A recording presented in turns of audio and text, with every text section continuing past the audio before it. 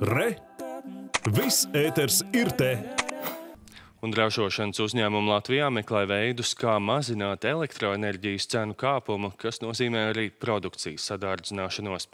Līdzīgi kā maisaimniecībām, arī uzņēmumiem šiem mērķiem pieejams valsts atbalsts. Un šodien zivju pārstrādes uzņēmumā UNDA tika atklāta saules paneļu elektrostācija. Vairāk stāstīja Kozins.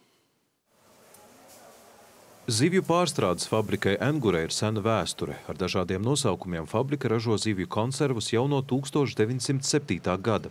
Mainoties varām un valsts iekārtām, uzņēmums mainījās līdzi. Arī šodien, pateicoties Eiropas fondu naudai un aizņēmumam, zivju pārstrādes uzņēmumam UNDA izdevies uzstādīt saules paneļu parku rūpnīcas teritorijā. Mēs jau ilgstoši principā, gājām uz to zaļo ilg, ilgspējas domāšanu.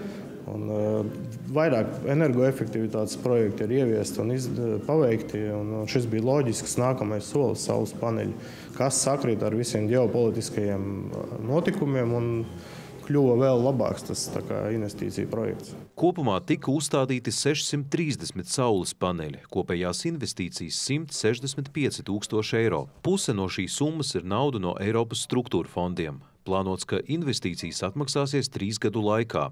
Projekts bijis izaicinošs. Mēs redzam, šī vieta, kas ir pie jūras, ka te arī bijuši vairāk izaicinājumu, kas ir saistīti gan, gan ar gruntsūdeņiem, gan paredzot, kāds būs vējas lodes nepieciešams izturēt saules paneļiem.